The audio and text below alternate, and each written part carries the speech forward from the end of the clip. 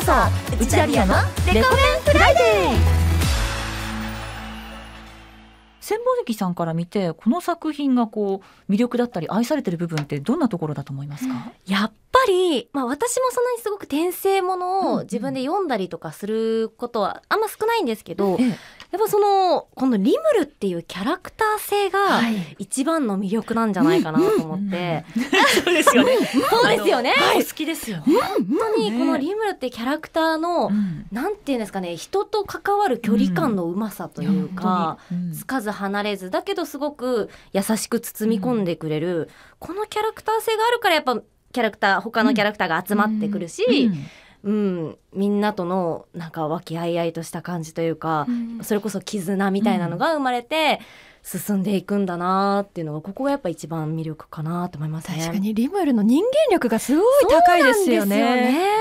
本当なんか尊敬しちゃう。うん、感じななんんですね。かこう日々の立ち回りの仕方とかも、うん。リムルを見てちょっと勉強するじゃないですけど、あそっかこう仲裁に入るときはこうすればいいのねみたいな感じになるので、本当そこがすごいですね上司にしたいナンバーワン内田さんリムルはもう。結婚相手に選んでたからもうおこがましい。ねおこがましい。おこがましいそんな。ことない民でいい。民でいい。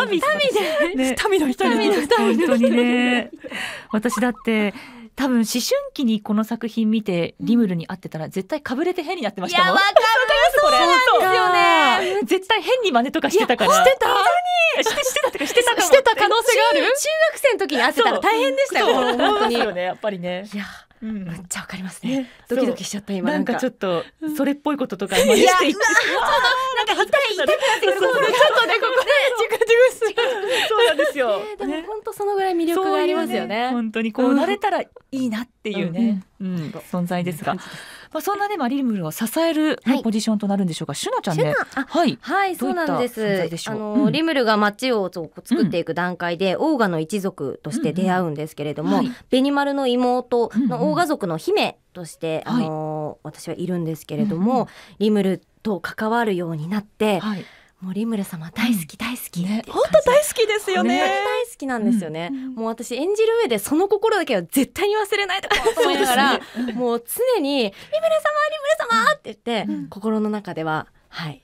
ちょっと静かになってる時もあるんですけど、はい。うん。心の中で常にリムル様を思って、リムル愛を。そうなんですよ。で料理とか裁縫をはい。するんですけど、うん。常にリムル様に向けての愛をうん。注ぎ込んでね。演じております。本当に純粋に注いでますよね彼女はね。そうです伝わってきますよね。うん。でもシオンとのバトルみたいなのが、うん。そのあるので、はい。そこも皆さん注目してアニメ見られる方は見ていただあきたいと意外としなちゃんがなんかう的確な一言とかちょっとクールな一言とか言ったりするじゃないですか。そうなんですよね。リムル様が夜遊びしてた時とか、うんはい。問い詰めて 何やってるんですか？ってそういうなんですよね。ことをね。ちょっと女子の怖さも感じながら。うんそう。ですね。本当に好きだからね